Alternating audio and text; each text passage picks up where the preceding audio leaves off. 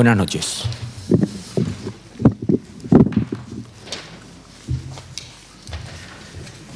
Como integrantes del Círculo Podemos de Ciudad realizamos las siguientes preguntas. Primer punto. La Constitución española, en su artículo 47, dice todos los españoles tienen derecho a disfrutar de una vivienda digna y adecuada.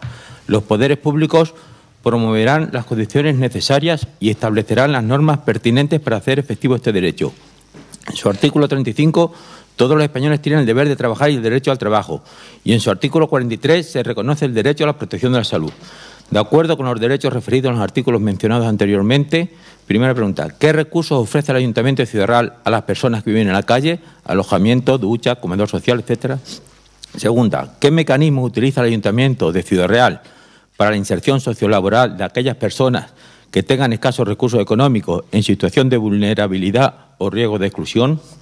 Segundo punto, el Ayuntamiento de Ciudad Real pertenece a la red de ciudades de acogida para refugiados sirios. Primera, ¿cuántos refugiados en número absoluto ha acogido el Ayuntamiento de Ciudad Real desde que está en la red de acogida para refugiados? Segunda, ¿qué medidas lleva a cabo el Ayuntamiento para la inserción de los refugiados en Ciudad Real? Tercera, ¿Existe dotación económica dentro de los presupuestos de 2017 para una posible acogida de refugiados? En caso afirmativo, ¿cuál es su cuantía presupuestaria? Tercer punto y último.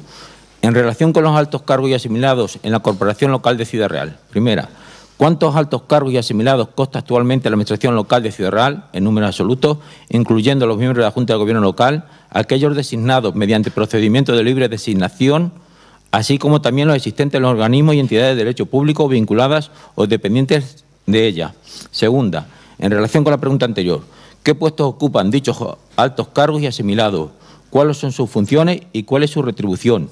Se ruega, una descripción pormenorizada. Tercera y última, ¿cuál ha sido la disminución o aumento en números absolutos de altos cargos y asimilados que consta la Administración local y Ciudad Real en relación con el Gobierno local anterior?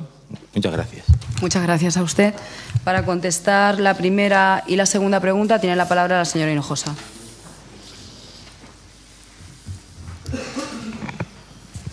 Pues muy buenas noches.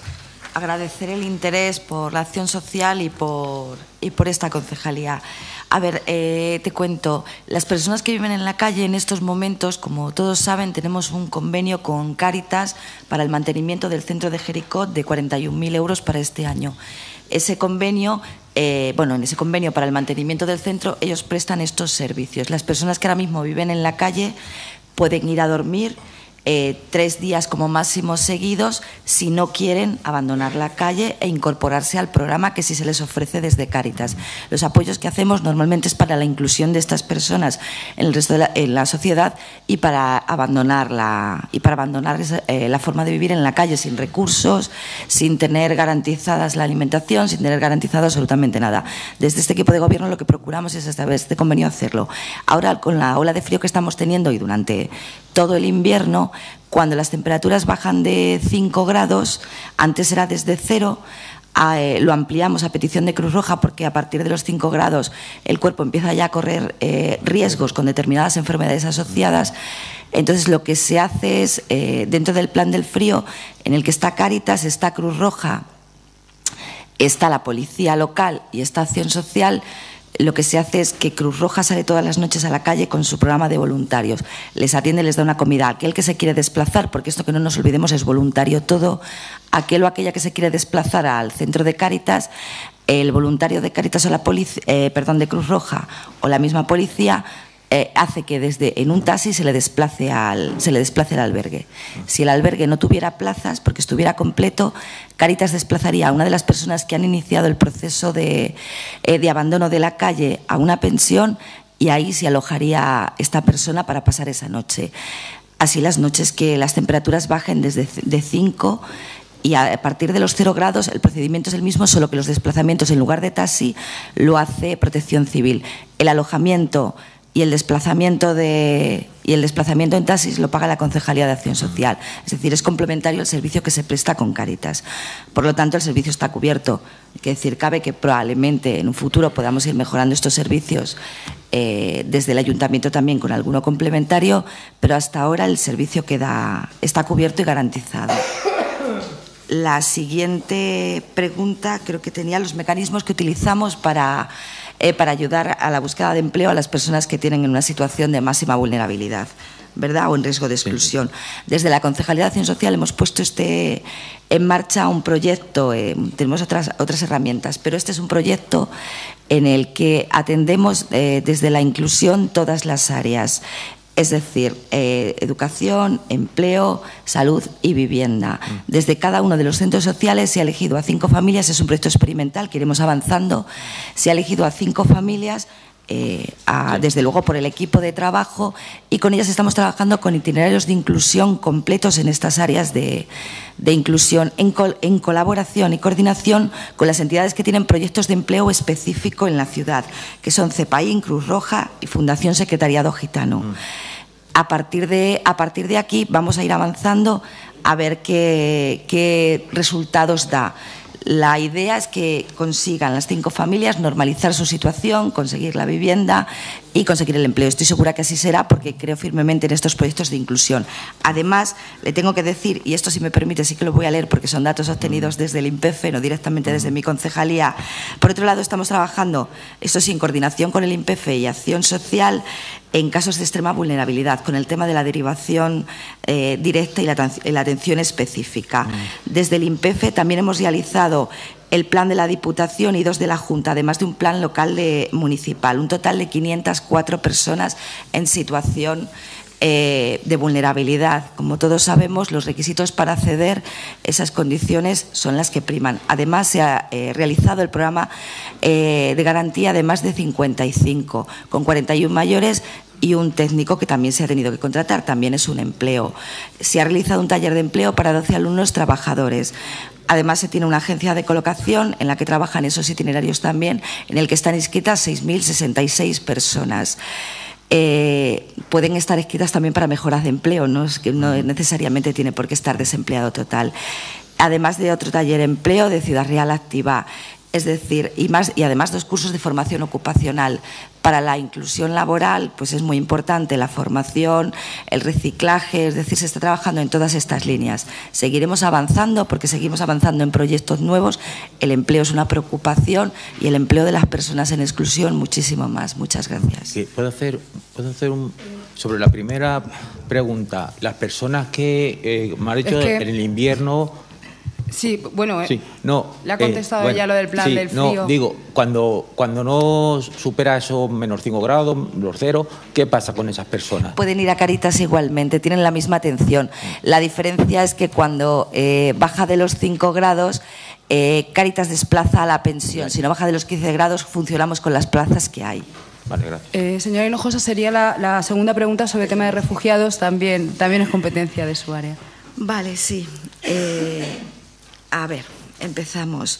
Porque el tema de refugiados sí que, me gustaría que quedara eh, muy claro porque no es, no es tan sencillo como parece. Hay una legislación eh, muy estricta a este, a este respecto. Es verdad que nosotros somos, eh, nos incluimos en la red de ciudad acogedora y eso quiere decir que ponemos la ciudad a disposición del Ministerio para que se nos tenga en cuenta a la hora de eh, distribuir. A veces hay unos términos que no me gustan mucho, pero son los que son. A la hora de distribuir a las personas por el resto del territorio. Esto depende exclusivamente del Ministerio y lo realiza en función de los centros públicos que tiene eh, o bien los concertados con, distintas entidades. Mm.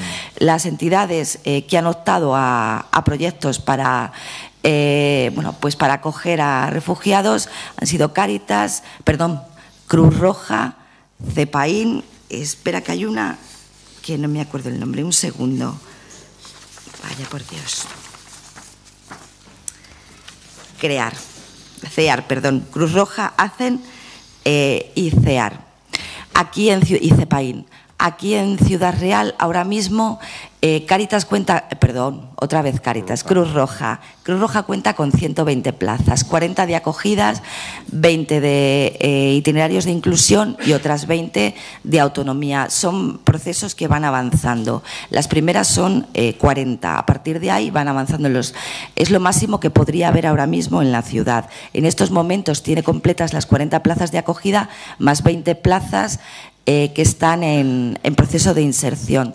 Desde y eh, CEPAIN tiene 16 plazas que le gustaría crecer, pero ahora mismo tiene 16 plazas y las tiene cubiertas. Están en proceso de acogida. Es decir, es el Ministerio el que dice dónde van. Y las listas públicas que hay solo dicen la fecha que han llegado y el país de origen, pero no dicen a qué ciudad están eh, va a ser su destino. Eh, con, estas, con esta situación cuando eh, llegan al proceso de inclusión, lo único que puede hacer el ayuntamiento, que si es eh, la competencia del ayuntamiento, es facilitar esa inclusión. Lo que hacemos es facilitar el acceso a todas las instalaciones municipales, a todas las actividades, de forma gratuita durante un año. Eh, a partir de ese año se valora si la situación sigue siendo pues, o es una situación precaria, pues becados como el resto de ciudadanos. No estamos, realmente no hay ninguna eh, excepción con ellos. La excepción es que para todos normalmente se suele pedir el empadronamiento y con las personas refugiadas no se hace, se valora de manera individual la, situación. Preguntabas también si había alguna partida presupuestaria para ello. Eh, no hay una partida concreta eh, presupuestaria para atender a las personas refugiadas. Te digo, en las mismas condiciones que el resto. Lo que hemos hecho es facilitar el acceso a los recursos municipales, que eso sí es competencia municipal. Entonces, lo que también hemos hecho es aumentar una partida presupuestaria de 70.000 euros que había cuando llegamos 53.000 reales, 70.000 en presupuestos, a 160.000 en previsión de esta situación, claro, para poder atender las nuevas demandas que están viniendo a nuestra ciudad. Y bueno, no sé si han visto la pancarta que hemos puesto, o sea, lo tenemos claro con los refugiados. Muchas gracias. Eh, para la tercera pregunta eh, tiene la palabra el concejal de personal, señor Serrano. Buenas noches. Eh, en concepto y con la, con la denominación de altos cargos y asimilados, en el ayuntamiento como administración local no existen esos puestos. Entonces, no sé si, os referíais a alguna otra cuestión. En cuanto a la composición de la Junta de Gobierno local, estamos los nueve concejales del equipo de gobierno bajo la presidencia de la alcaldesa, más luego un representante de cada grupo político, más el jurídico del ayuntamiento y el interventor municipal. En cuanto a, la disminución o aumento del número de altos cargos, pues como os decimos, pues no existe ninguna figura con esa denominación en el ayuntamiento. Sí que como órganos directivos, desde el pasado, la pasada etapa a, la de ahora, pues han desaparecido los órganos directivos que eran los directores generales, el de urbanismo y el de recursos humanos. Esos sí que desaparecieron de, de la época anterior. Pues muchas gracias. Creo que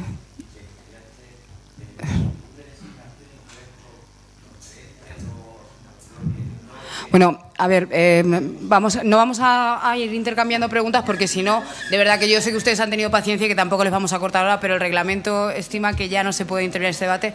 De todas formas, se le dará también respuesta, eh, se, le, se, le, llegará por escrito también todo lo que se le ha contado, con lo cual podrán seguir interesados por el tema. Muchísimas gracias, de verdad. Pues llamamos ahora.